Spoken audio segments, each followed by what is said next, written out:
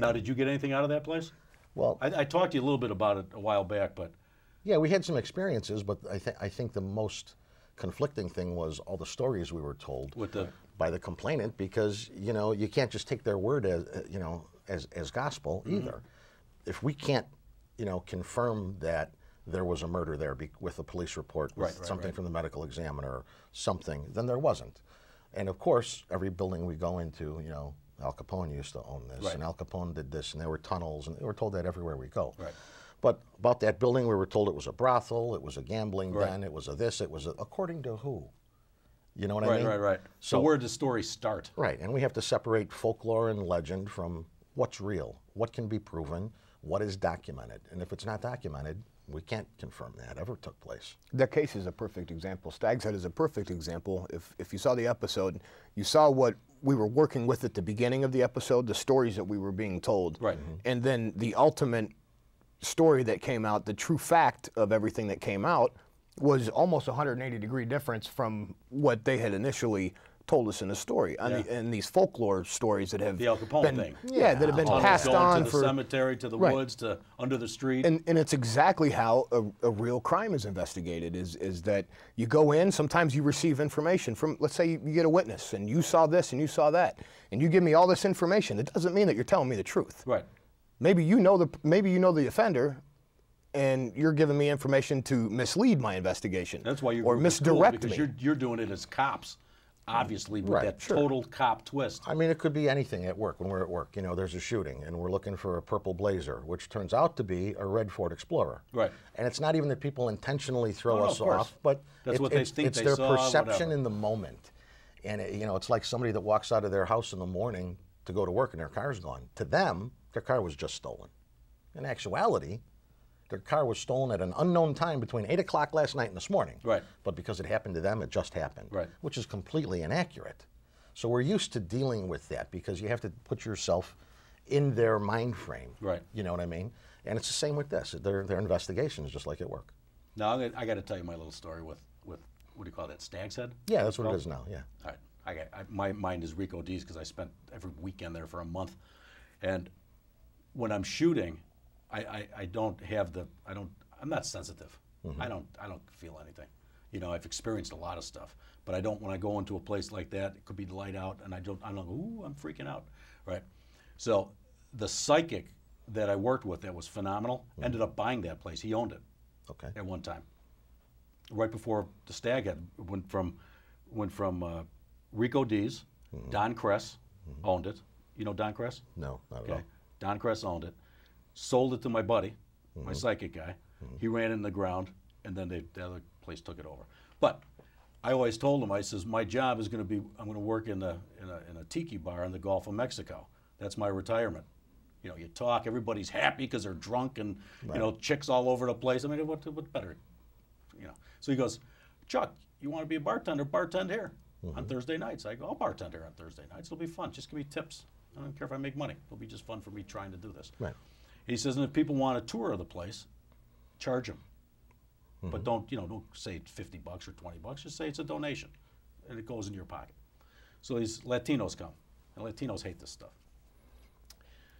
One kid who's about 16, he's taking pictures, and he's co- trying to compose, trying to find stupid orbs and stuff, which I don't like orbs. But I go, don't compose. Just take the, it's a digital. So, you know, so just shoot. Shoot mm-hmm. all over the place and then look at it later.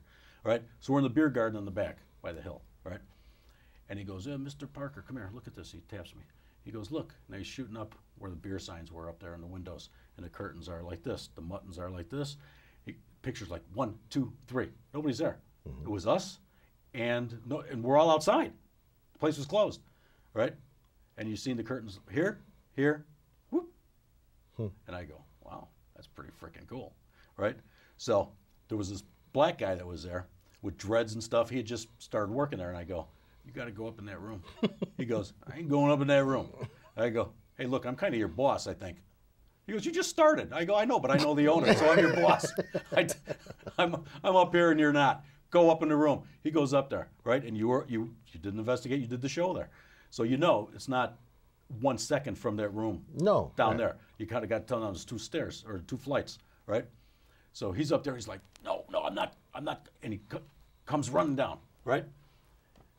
We're looking up at the window, and we saw the curtains frickin' go up. The second the curtains go up, he walks out this door, like within like one second, Right. and nobody else is there. And I go, "Did you guys see that curtain? Did you see the curtain?" And they go, "We saw the curtain," and it just raised up like you were grabbing it from underneath, mm-hmm. and pulled it up, and no one was in that frickin' place. Well, you know, we don't say that there's no paranormal activity there. We experience paranormal activity there. It's just that when you add all of these inaccurate tales to try and explain Right. the activity, that's when things go wrong. And uh, there is genuine activity at the building. We're, we're, we're comfortable saying that. So out of all the shows you did for A and E and stuff, and, and on your own, what was the best experience you had? what do you think, Austin? What you Well, think, I, I think everybody's a little bit different. We all had our own personal experiences at each investigation, some more than others, and some had more um, ultimate, I guess you could say, um, decision making power of what people felt that they had experienced that day. Um, for me, it's, it's Casa Madrid all day. I mean, yeah, I mean, it's. really? Yeah, that was that. Uh, yeah, that was that was a good one for me. That was uh, Now what happened there? I saw the show. whether whether on the show. they, did they show did they show what you're talking about on the show? Because everything's on the cutting room floor when on TV for the most part. there there was a lot of stuff that uh, was cut out of that episode. That episode was an hour long. That was a premiere our premiere episode, episode, or 44 minutes. You know, Right. with the with the commercials and sponsors. But um, there was so many things that were involved in that episode that weren't shown. It's almost like you That have was- to have a like a little. You have to have an three eight-hour TV show Right. to That- show everything. That investigation for me personally that investigation is not only the best investigation and most um, uh, impressive uh, evidence gathering investigation for me personally. Okay. um, whether it was on the show or off the show it didn't matter. I mean all together all the investigations that we've ever done that is casa madrid is the the one that i hold. You found that, you know, I mean, we had a, a locked door open and close with our seal broken, our tape seal, that we. Well, Oh yeah, I remember. I they did just show that though. They did. Oh, show yeah. that, yeah, because I remember that. We had some very good EVPs, and I know, you know, our guy Tom Froelich, Mm-hmm. you know, he had a horrible sense every time he walked around down there, you know, whatever it was, laying cable and, and just being down there alone. He you know, felt- he always felt something right on him. Right. But when you have feelings, you can't record feelings. No, no, no. So, you know, Right.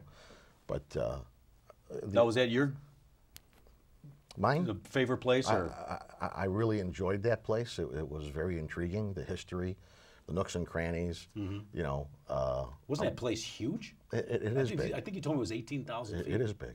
But for me, I think even a little bit more was the uh, the women's college in Lake Forest, Oh, okay. which was in a huge four-story college, which was completely abandoned. That was that on the A and E show. Yeah, absolutely.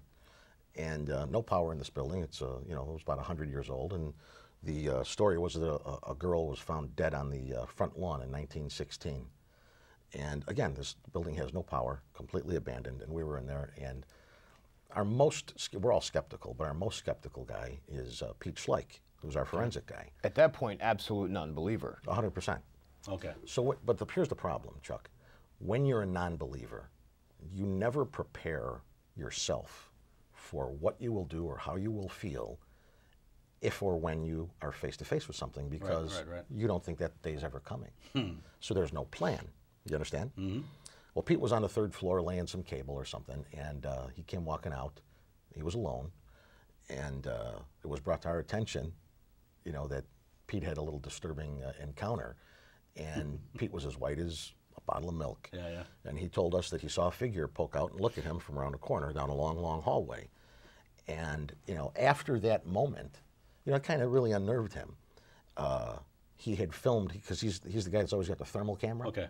And he had filmed a cold spot down there, and Pete and Tom partner up a lot, and they both walked down there and could not find a any kind of source for this cold spot. And I think it was like the day later where we met with the historian who gave me a picture of four guys standing in the woods. There's a little forest area on the property. And I showed it to Pete, and there's four men, and he picked out one of them. He goes, Who's this guy? I says, Well, actually, that's the homicide suspect from 1916, standing in the woods with his three attorneys. Because that's because he says that's the guy I saw. No kidding. So, to Do you this, believe her now? well, you know what? He he'll always say, just because he can't explain something oh, doesn't mean there's not an explanation for it. Come on. But he kills is, me. He is not 100% skeptical as you know. It's been watered down because he had his own experience. But of course, him making a positive idea of a face was not recorded either. But uh, it, it has caused him to kind of take a different stance. So after your show, you guys are doing events, right? Yeah, And yeah. you guys are playing. Yes. You guys have a, a group, a band. What, do- what do you call? Yeah. It's a band. Yeah. Band. Absolutely. Op- open key. Called Open Key. Open key. Yeah. And I did have the opportunity to hear you guys, and you were great. Thank you very much. Sounded great. You Thank really you. did. Thank you. Sounds like you, Appreciate and you got a lot of good original stuff too. So All how's that going over? It's, it's all original music. We don't do any anybody else's music. It's all it's all our heartfelt feelings put down in strings, you know. But Yeah, uh, it sounded great too. um, thank you. It's all about what we know. Right. Relationships, police work, and investigating the paranormal. That's, you know, what we write about. And when I heard you guys play the first time, I know you told me you don't do originals, and I said, Well, we well, only do originals. I mean, you don't do uh, Covers. covers. And I said, well, throw in a couple covers, and you, you played a couple covers. And by the way, you sounded great on them, Thanks. right? And that's what I'm saying. You know, I, am as an agent, I'm disagreeing with you. Throw in a damn cover if you if you do them that well. You know what I mean? We did that for you, Chuck. Oh, yeah. That was all for you, buddy. But see, bar owners and clubs, and when you play out, it just makes them go, "Oh, that sounded good." That Bar sounded owners good." don't care what it sounds like as long as, As long as you draw the people. people. That's they true. don't care what you do. You can bang on a pot with a wooden spoon Right. as long as people If you come. fill the place, all they don't care. about. Right. Because I remember I tried booking a couple bands, and I don't I don't really book bands, but I tried to book some bands that were pretty high profile, Mm-hmm. and they said, "Will they draw?" They didn't care about. It. I told them, "Here's what they did. Here's what they they were on. You know, they had six albums out. They sold this many albums." Blah blah blah blah blah. I might have said that to them. Blah blah blah. Because they said, "Will they bring people in the door here? Right. We don't care if Elvis comes here. Right. If they're not drawing." Or he's not drawing. It doesn't matter. It'd be cool to see him, but you know. Right. Right. So, It's all about business. Right. them. That's all. because you guys have to come back and play. Absolutely. Be awesome. Fantastic. Because you also you have a I read on your you in Facebook man you must be on Facebook a lot because I'm It's on been it a said, few Chuck. times a day. It's been and I- said, buddy. There's Ron. There's Ron. It's been said. but I noticed on it. Well, this is good. I get my information from there. I guess I, I don't know ahead. whatever it is. I and you, you got a keyboard guy now.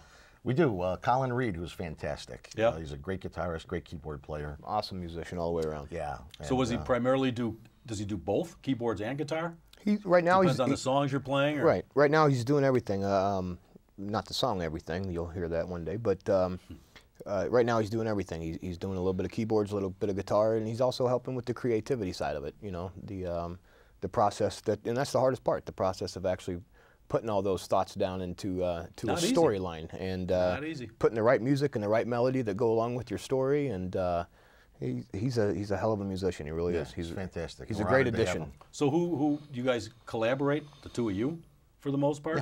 Yeah. And what do you do? Just sit down with the guitars and just I mean, what's know your what? what's your process? if I may. A lot of times, Austin will just be playing, and you know, there's no talking to him. He's in another world. He's in the creative world, Right. And, and that really, that's where a lot of things come from. Uh, and, and you just have to let him go and do his thing, and then you know, it'll be, what do you think of this, and what do you think of this? When he returns to Earth, usually.